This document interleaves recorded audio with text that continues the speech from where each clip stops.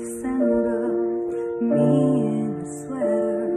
You said it looked better on me than it did you. Only if you knew how much I liked you. But I watched your eyes as she walks by.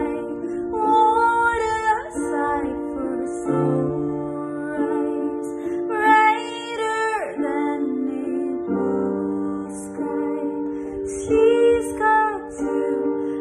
to mesmerize while I die. Why would you